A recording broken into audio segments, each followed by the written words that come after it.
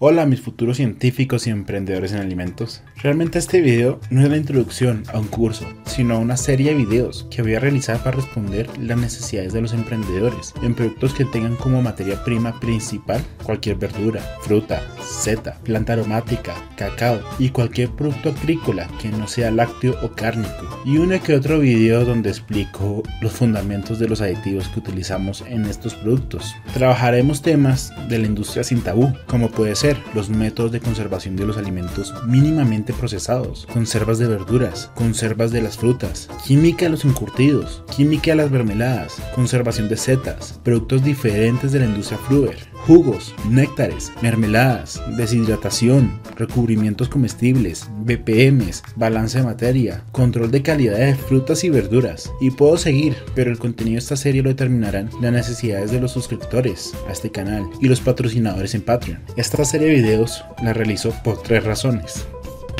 En la mayoría de los casos, los que montan una empresa de alimentos no son ingenieros, científicos, personas que hayan tenido una formación relacionada con los alimentos y su transformación. Son personas que trabajaron en una empresa de alimentos, o jóvenes, amas de casa, visionarios que tienen una buena idea para realizar un producto alimenticio. Por eso, cuando desean producir su producto por primera vez, tendrán problemas de estabilidad, pero si tienen claro lo que están buscando, lo pueden lograr más fácilmente que una persona externa. Pero cuando desean producir libremente, se darán cuenta que hay requerimientos que solo leyendo la norma o tratando con los entes de control se enterarán cuáles son hasta cierto punto. Por eso al final deciden contratar a un ingeniero o buscar una asesoría por una persona que supuestamente tiene una experiencia en la industria, pero el problema es el costo y la claridad del proceso, porque por lo general la hora de asesoría puede superar los 100 dólares y lo peor es que esa hora de asesoría solo se puede determinar qué es lo que necesita el cliente, pero no se resuelve la necesidad del cliente como tal, solo se le aclaran cuáles son los servicios que el cliente debe de pagar. Pero este proceso no es culpa del asesor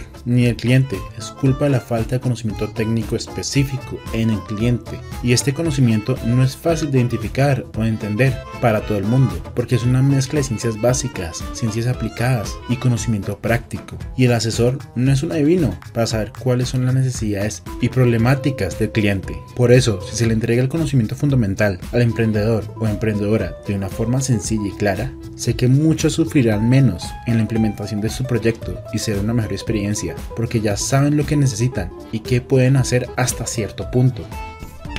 El Instituto de Investigación de Recursos Biológicos Alexander von Humboldt reseña la existencia de más de 400 frutas en Colombia. Según Papa, tenemos más de 30 variedades de papas para cultivos intensivos y más de 60 variedades de papas nativas en Colombia. Según la FAO, hay cerca de un millar de variedades y especies de setas en el mundo para el consumo humano. Según ProColombia, se siembran más de 400 especies de hierbas aromáticas y medicinales en Colombia.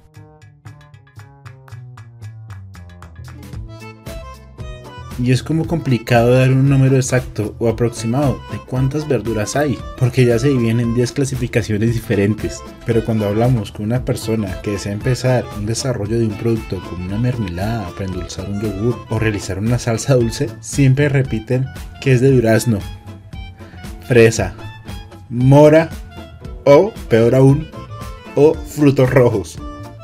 Pero no es culpa de ellos, solo que al mercado no le gusta resaltar que hay más variedades, para que las grandes compañías puedan garantizar un control uniforme en la producción primaria de los países y así lograr un monopolio que en teoría no existe pero lo vemos todos los días. También lo vemos en la legislación de los países con los procesos de semillas certificadas y abonos diseñados para variedades específicas de frutas y verduras pero les garantizo que mostraré los frutos de este país y cuáles son las variables que debemos validar para elegirlos y no tener problemas con su uso.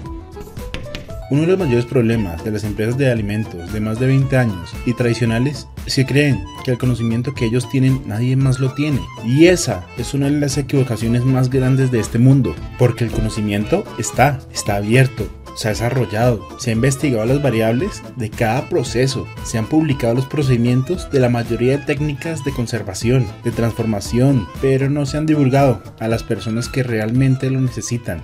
Y estoy hablando de los pequeños productores, donde no hay más de 5 personas en la planta, y no de esas empresas de más de 500 personas, donde trabajan equipos de profesionales, que además les han pagado capacitaciones para saber cómo hacer una mermelada. Pero los pequeños productores no tienen esa facilidad de adquirir conocimiento por varias razones, económicas, sociales, culturales o personales de los emprendedores. Por eso deseo poder divulgar el conocimiento de una forma entendible, para que cualquier persona pueda adquirir conocimiento técnico, de conservación y de transformación de los alimentos, indiferentemente del estado socioeconómico de la zona, del emprendedor, sus estudios o su capital.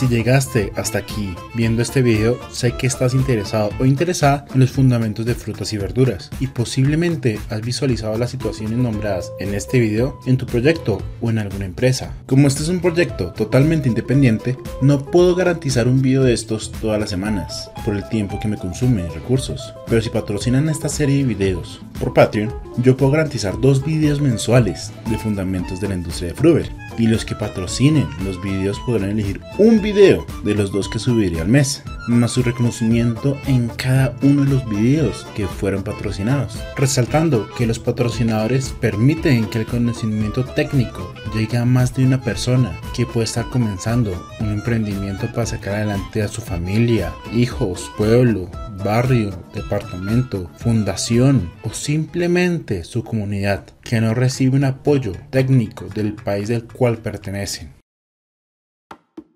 Listo compañeros, ya terminamos este video. Espero que lo hayan disfrutado.